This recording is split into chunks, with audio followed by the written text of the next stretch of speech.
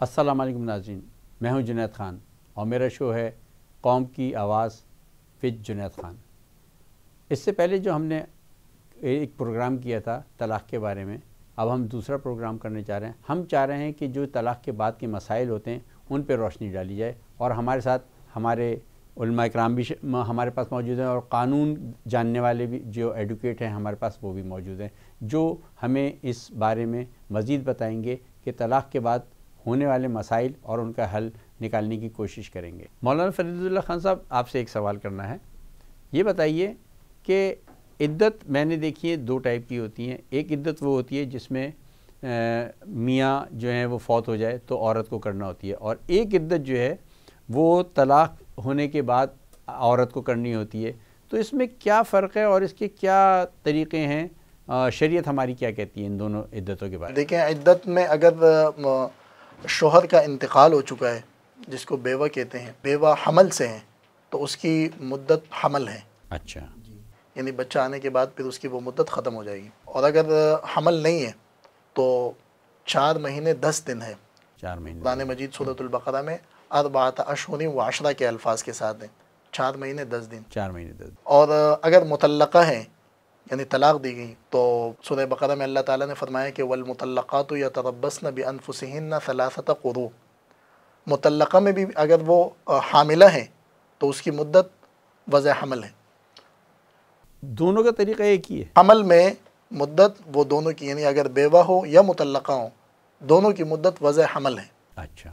जी। मुतलक़ा के लिए अगर उसका हमल नहीं है और उसको हेज़ भी आता है खून माहवारी जिसको कहते हैं उर्दू में वो माहवारी भी आती है। तो फिर उसके सलासत खुदू तीन हैज़ हैं। यानी तीन हैज़ ख़त्म होने के बाद फिर उसका मुद्दत ख़त्म हो जाएगी। और अगर कोई खातून ऐसी है बाज़ मतबा खातून को माहवारी नहीं आती है किसी बीमारी की वजह से बिल्कुल। तो अब वो तीन हैज़ तो नहीं आ सकते तो उसका पता कैसे तो उसके लिए तीन महीने हैं। तीन महीने। अगर मुतलक़ा हैं और हामिला हैं तो उसकी मुद्दत वज़ हमल है। और मुतलक़ा हैं यानी जिसको तलाक़ दिए शोहर मरा नहीं है तलाक़ दिए उस तलाक़ हुई है। तलाक़ हुई है तो उसकी मुद्दत तीन हैज़ हैं। और मुतलक़ा है, उसको हेज़ भी नहीं आता तो उसकी मुद्दत तीन महीने है।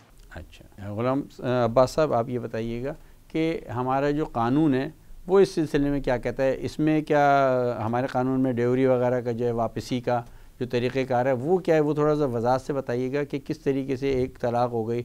अब वो औरत अपने घर चली गई है वो कहती है मेरे जो जेवर था और जो उसे जहेज़ का सामान था वो मुझे वापस नहीं। तो इसका क्या तरीक़ाकार है थोड़ा सा बताइएगा। सर वो केस फ़ाइल करेंगी रिटर्न ऑफ़ डॉरी आर्टिकल्स का। अच्छा। के बाद सर उन्हें अपनी जो भी केस के अंदर उन्हें अपनी लिस्ट देनी होगी जो उस वक्त उनको रिसीविंग हुई होगी। अच्छा वो लिस्ट जो बनाते हैं जहेज़ की वो हमारी भी आई थी जब हमारी शादी हुई थी तो वो ज़रूरी होता है कि उसमें वो अच्छा ये अच्छी बात है उस पर साइन वगैरह लेना जी जी सर। की रसीद लेना अच्छा अच्छी बात ये बहुत ज़्यादा ताकि क्योंकि बाद में तो फिर ये सारे जो है ना जी। मसले मसाइल का हल होगा। अल्लाह ना करे किसी को तलाक मगर हो जाए तो ये रिकॉर्ड रखना चाहिए इसका मतलब ये हुआ। सर इसकी रिसीविंग केस में लगेंगी और जो भी रिसिप्ट होती हैं लि, लिस्ट पूरी प्रॉपर जो बनती है और उसके बाद फिर अदालत में वो रुजू होता है और फिर अदालत समन करती है आ, उनके जो दूसरी पार्टी को अगेंस्ट पार्टी। अगेंस्ट पार्टी को। और फिर अदालत के डिस्क्रेशन पे फिर अदालत दोनों की बातें सुन के और फिर एक फ़ैसला देती है और उसमें अमूमन जो प्रॉपर चीज़ें होती हैं वो वापस होती हैं। अच्छा नहीं अब फ़र्ज़ करें जो तलाक़ हो रही है वो दो साल बाद हो रही है? और जो केस था उसमें आपको पता है हमारा लिटिगेशन के जो मसाइल हैं तो उसमें एक साल लग जाता है फ़र्ज़ करें। ठीक है तो तीन साल हो गए। तो क्या वो जो जहेज़ है उस पर डिप्रिसिएशन वगैरह लग के वापस होगा या पूरा पूरा जहेज़ एज इट इज़ वापस आएगा? उसमें तोड़ फोड़ भी हो जाती है बास टाइम दराज टूट गई ये हो गया हो गया हैंडल निकल गया अलमारी का। तो ये ये बताइएगा। नहीं नहीं सर क्योंकि वो उनके यूज़ खुद औरत के यूज़ में भी था। अच्छा। तो एज इट इज़ वापस आएगा कोई डेप्रिसिएशन इस टाइप का कुछ भी नहीं है। अच्छा। अब मुझे आप ये बताइए कि तलाक हो गए ये सब मसाइल गुजर गए। अब फ़र्ज़ करें एक साहब ने अपनी मिसिस को तलाक दी। और उनकी दो बच्चियाँ थीं ठीक है?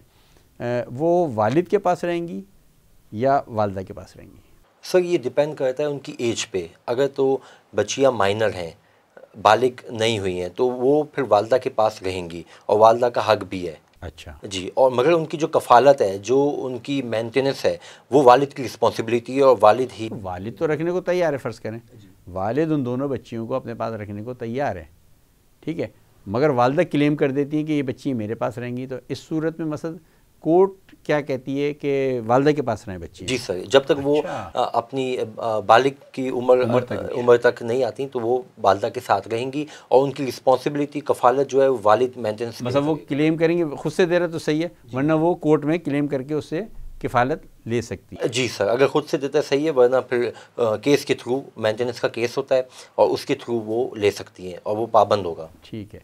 अच्छा ये बताइए कि दौरान जो तलाक जो तलाक हो गई, उसके बाद इद्दत का जो पीरियड है, इद्दत के पीरियड में जो बच्चे हैं वालदा के पास और जो वालदा ख़ुद हैं, यानी कि उनकी तो अब वाइफ नहीं रही तो बच्चों की वालदा और वो तो उन इद्दत के पीरियड में जो किफ़ालत है वो कौन करेगा, बच्चों की और बीवी की? ये जो सबका बीवी समझे। बच्चों की जो किफ़ालत है, जिसको अरबी में नानो नफ़ा कहते हैं आ, वो वालिद की ज़िम्मेदारी है। अच्छा। चाहे इद्दत हो या इद्दत ना हो। अच्छा। जी इद्दत के बाद भी वो वालिद की ज़िम्मेदारी। और इद्दत के दौरान जो उसकी मिसिज है बीवी है उसके रही। हाँ। हाँ एक्स बीवी कह लें। जी, जी। सबका बीवी। उसकी ज़िम्मेदारी भी उसके सबका शोहर। मतलब चार महीने दस दिन जी। उनका नान नफका एहसाब का चार महीने दस दिन ये तो बेवा के लिए अच्छा बेवा की। जो मुतलका है जिसको तलाक दी जिसका शोहर ज़िंदा है। ठीक है। उसके लिए तीन हैज़ हैं। और अगर है। हैज़ नहीं आता तो तीन महीने। उस दौरान जो उसकी नानो नफ़ा मेंटेनेंस है वो इसी शोहर की ज़िम्मेदारी है। ठीक है। अच्छा आपसे मे, मेरा सवाल है कि तलाक हो गई थी सब कुछ हो गया या बच्चे भी सेपरेट हो गए चले गए और उन्होंने बच्चों की मेंटेनेंस भी लेना शुरू कर दी। अब बाप कहता है कि मुझे बच्चों से मिलना है ठीक है? तो उसके लिए कैस किस तरीके से होगा? या तो खुद ही म्यूचुअल अंडरस्टैंडिंग से या तो मामला हो जाएँ ठीक है? अगर बाप जो है वो मिलना चाहता है और माँ कहती है, नहीं, मैं तुम्हें नहीं मिलने हो सकता है, उस माँ ने एक और शादी कर लियो ठीक है? तो वो नहीं चाहती कि ये बच्चे जो हैं, सबका मियाँ से मिलें। तो इसके लिए क्या शोहर जो है, जो सबका शोहर थे, वो क्लेम कर सकते हैं कोर्ट में? हमारा कानून क्या कहता है? बिल्कुल sir G N W guardian and ward act के थ्रू केस होता है और वालिद बच्चों का उसके ऊपर एक राइट है तो वालिद को मुलाकात से नहीं रोक सकते अच्छा जी जी उस जी एन डब्ल्यू केस के थ्रू वालिद को मुलाकात का हक अदालत देगी और आफ्टर एवरी फोर्टीन डेज़ वो तीन चार घंटे के लिए अदालत में वालदा बच्चों को लेके आएगी अच्छा। और, और अदालत की निगरानी में बच्चों से मुलाकात होगी वालिद की अच्छा। और जो बच्चों की ट्रांसपोर्टेशन कॉस्ट होगी जो वालदा लेके आ गई वो वालिद जो है वो अदालत में जमा कराएगा और वो फिर वालदा विदड्रॉ करके वालदा को मिल सकती है। ये बताइए कि क्या बीवी यानी कि बीवी है अभी और उसके कोई तलाक नहीं हुई है तो वो क्या अब जो दूध पिला रही है बच्चों को क्या वो क्लेम कर सकती है? मेरे एक जहन में सवाल आया है। मैंने कहीं पढ़ा था कि वो अपने हस्बैंड से इसके पैसे ले सकती है जो उसे बच्चों को दूध पिला रही है। तो इसमें रोशनी डालेंगे आप इस्लाम क्या कहते हैं? देखें औरत जो है बीवी उसका नान और नफ़ा की ज़िम्मेदारी अल्लाह ताला ने उसके शोहर पे रखी। जी। और उसकी माँ को ये ज़िम्मेदारी दी है कि वो उस बच्चे की जिसको खजानत कहते हैं उसकी परवरिश करें। परवरिश में फिर उसका दूध देना है। अलबत् शरीयत ने उस पर जबर नहीं किया है मजबूर नहीं है उसको मजबूर नहीं किया जा सकता। हाँ अगर कोई और नहीं है और कोई और तरीका नहीं बन सकता उसकी परवरिश का तो फिर उसकी उस माँ को मजबूर किया जाएगा। लेकिन वो उसकी उजरत नहीं ले सकती। अच्छा। यानी इस दूध पिलाने का एक वो पीरियड है उसमें वो उजरत नान नहीं और ले नफ़ा का ज़िम्मेदार उसका मियाँ है। ठीक है। अलबत्ता उसका उजरत वो उसकी नहीं ले सकती। ठीक है। अच्छा सर इसमें मैं एक चीज़ ऐड करना चाहूँगा अपने पुराने सवाल के अंदर कि अक्सर हमारी सोसाइटी में ये देखा जाता है कि जो शोहर है वो बच्चों को ज़बरदस्ती ले जाता है। जी जी वालदा से छीन के या जो भी और वालदा से मुलाकात नहीं हो पा रही तो उसका भी ये कानून के अंदर एक है कि 491 की एप्लीकेशन लगती है और फिर सेशन आपने बताया फोर नाइन्टी वन 491 की एप्लीकेशन लगती है और सेशन कोर्ट में लगती है अच्छा, और अदालत फिर एसएचओ को पाबंद करती है कि बच्चों को नेक्स्ट डे वो हाजिर करे। अच्छा। ये और ये औरत का एक राइट है। अच्छा अच्छा अच्छा। अच्छा किस एज में जाके बच्चे फैसला कर सकते हैं कि वो माँ के पास रहें या वालिद के पास रहें? अगर बच्चा मेल है तो उसकी जो एज है वो सेवन इयर्स मुकर की गई है। और जो बच्ची है उसकी जब तक वो बालिग नहीं होती वालदा के साथ रहेगी। अच्छा बच्चों की कस्टडी के मामले में हमारी शरीयत और इस्लाम क्या कहता है? देखें अगर लड़का है बच्चा है तो जिस तरह वकील साहब ने बताया सात साल तक वो माँ की परवरिश में रहेगी। इसको अरबी में लड़का सात साल तक माँ की परवरिश में जी हिजाना उसको कहते हैं। हिजाना यानी परवरिश चूँकि वो अच्छी तरबियत कर सकती है वो अच्छी परवरिश कर सकती है वो उसकी माँ है। अच्छा। बाकायदा इसके लिए कोई अल्फाज यानी इस मद्दत को बताने के लिए कुरान और हदीस से अल्फाज नहीं है लेकिन ये इशारतनस जो असूल फ़िक़ का एक कायदा है उससे ये साबित है कि वो ज़िम्मेदारी उसके माँ की है। और बच्ची लड़की वो नौ साल तक माँ की परवरिश में रहेगी।